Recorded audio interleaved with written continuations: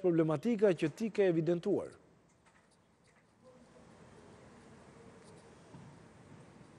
Ju përshëndes nga Lezha Arbër, në fakt bëhet fjalë për një rezervuar, diga të cilit ka pësuar dëmtime nga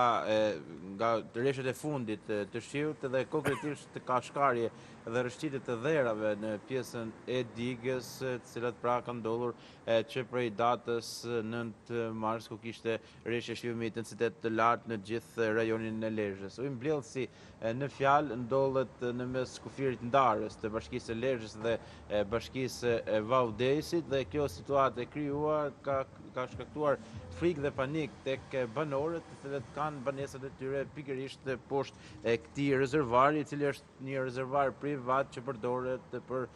vaditjen e një plantacioni me pemë të ndryshme, pra që ndodhet pikërisht në zonën në fjalë. Nga ana tjetër, banorët thonë se në këto kushte diga nuk ka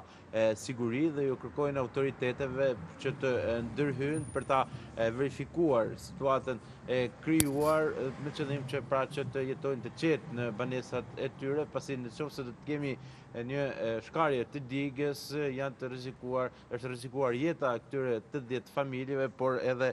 prona e tyre. Situata e krijuar është verifikuar edhe nga sektori i emergjencave në prefekturën e Lezhës së bashku me përfaqësues të bashkisë, të cilët kanë parë nga afër situatën pas sinjalizimit të banorëve ditën ku është kur janë vërejtur edhe shkarjet e dherave i është lënë detyrë privatit që të shkarkojë ujërat e rezervuarit dhe të ndërhyjë për të bërë riparimet pra ku ka dëmtime të pjesës dhe shkarje të dherave në pjesën e digës, por nga ana tjetër përfaqësuesit e emergjencave bëjnë me dije se nuk përbën rrezik për zonën e banuar. Duhet theksuar Fakti se rezervuari në fjalë ka një sipërfaqe prej tetë mijë metra katrorë dhe gjatë në kotat maksimale uji shkon deri në njëzet metër kub, njëzet mijë metër kub, më falni, dhe që normalisht në qoftë se nuk do të ketë siguri diga, është një kërcënim serioz për zonën e banuar. Ndërkohë, Elvis, për t'u ndalur pak te banorët, sa është numri i banorëve që jetojnë në këtë zonë, sa larg ndodhet ajo nga Lezha, për gjithë ata që ndoshta nuk e njohin?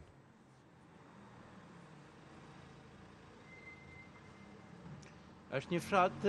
që fshati nën fshat, duhet të themi, ku është ngritur edhe shqetësimi i banorëve i përket bashkisë së Vau Dejës, ndërsa rezervuari në fjalë është në territorin e bashkisë së Lezhës, pra në kufirin ndarës dhe gjitha në momentin kur janë kur janë sinjalizuar pikërisht autoritetet, por edhe Policia kanë shkuar ato të Bashkisë së Lezhës dhe të Prefekturës së këtij qarku, të cilat kanë kryer gjitha verifikimet në terren dhe informacionet përkatëse kanë përcjellë edhe tek Emergjencat Civile në Tiranë, ndërkohë që prej dy ditësh privati, i cili ka këtë rezervuar, po punon për shkarkimin e ujërave dhe që normalisht të ketë edhe një ndërhyrje në digë që mos të jetë një kërcënim për zonën e banuar, pasi bëhet fjalë për tetëdhjetë familje, të cilat pra janë të rrezikuar pra nga kjo digë dhe kanë ngritur këtë shqetësim me të madhe. Elvis, për t'u ndalur pak edhe te situata dhe te çështje të tjera në qytetin tënd, përgatitjet për zgjedhjet lokale, si duken, apo Partia Socialiste ndoshta është pak më e avantazhuar për shkak se nuk ka këto problematika, por dua të na japësh pak edhe një informacion çfarë po ndodh edhe me të djathtën aty.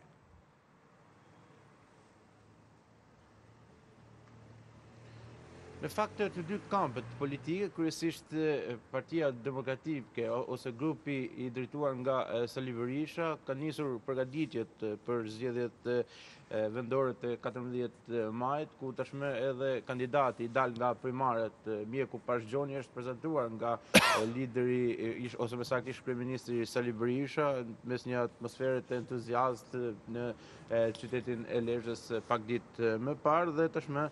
fushata, mund të themi se ka nisur. Nga ana tjetër edhe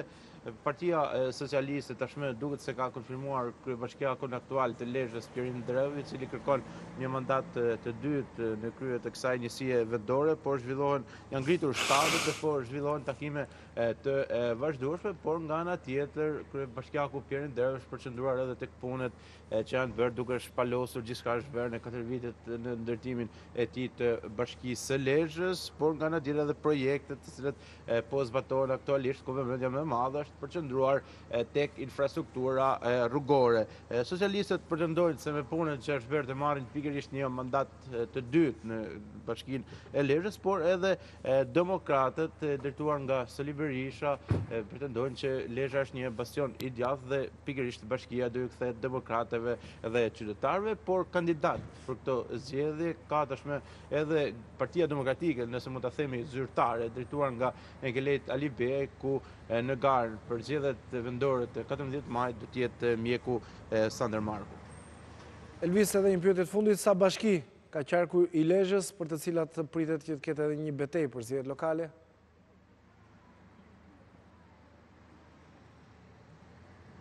Në Qarkun e Lezhës janë tre bashki, Lezha është njësia vendore më e madhe në këtë qark, pastaj vjen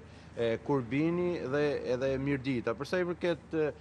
kandidatëve të grupit të rithemelimit të Sali Berishës janë zyrtarizuar tashmë duke dalë se kanë dalë nga procesi Duke qenë se kanë dalë nga procesi i primareve janë zyrtarizuar në të tre